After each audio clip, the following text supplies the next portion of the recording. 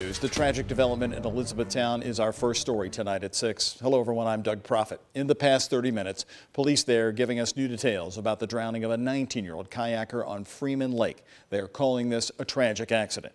Kenneth Robertson of Hardin County was last seen struggling in Freeman Lake, but divers could not find him until this afternoon, 24 hours later. Police in the city of E-Town just held a news conference with more information. WHAS 11's Rose McBride has been following the new development. She's live in Elizabethtown. Rose?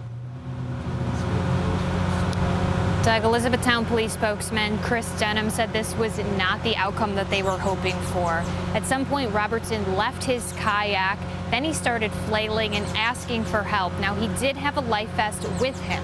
He rented the kayak from Freeman Lake, and the state requires that a life jacket is given to someone with a rental. However, when the kayak was found, the life vest was on that kayak, not with Robertson. Robertson's body was found near where he was last seen, which was 20 feet under the surface of the water. It took dive crews from LMPD and Campbellsville Fire 24 hours to complete the search. There was extremely low visibility in the lake. That was one of the reasons. Well, it's certainly not the outcome any of us wanted. Uh, it was a tireless search effort, certainly for the divers. And again, we were, we were beyond thankful for, for both of those crews. Nothing short of professional, um, but uh, they, they worked very hard and, and we were able to uh, conclude it. We do believe this to be an accident. There is no foul play of any type being suspected at this time.